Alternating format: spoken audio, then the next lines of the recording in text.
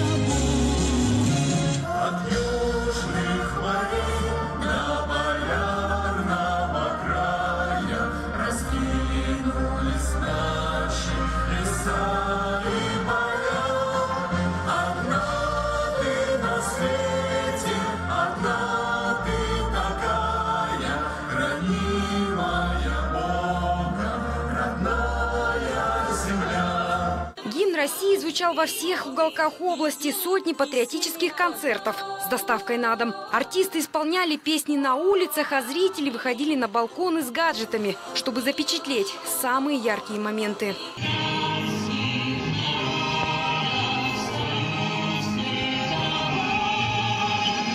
Обычно 12 июня торжества более масштабные, но в этом году из-за коронавируса многие мероприятия онлайн. Призвано привлечь внимание земляков труду и самоподпитыванию медиков, которые в сложный период для всех нас. А вот во дворе больницы поздравляют врачей, которые работают на передовой. Весь Бердюжский район пел песни в честь медиков, а еще присоединился ко всероссийской акции «Испеки пирог и скажи спасибо». Говорю огромное спасибо всем медицинским работникам, врачам, медицинским сестрам, фельдшерам, санитарочкам и водителям, которые стоят на передовой и самоотверженно выполняют свои обязанности. Тем временем в Заводоуковске любители дрифта устроили настоящее шоу на отечественных легковушках. Участвовали все желающие. Колонна автомобилей с флагами отправилась по городу, чтобы поздравить как можно больше людей.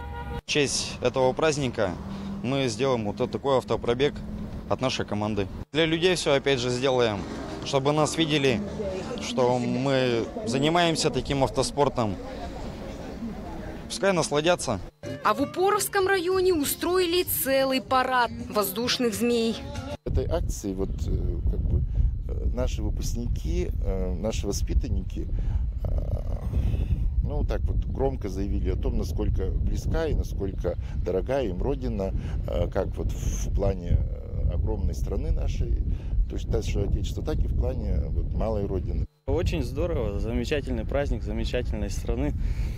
Наконец-то мы с ребятишками, с друзьями собрались, провели эту акцию. Настроение у нас позитивное, все очень рады. В области прошло несколько тысяч концертов, впервые онлайн, а потому этот день точно войдет в историю России. Юлия Никифорова, Тюменская служба новостей.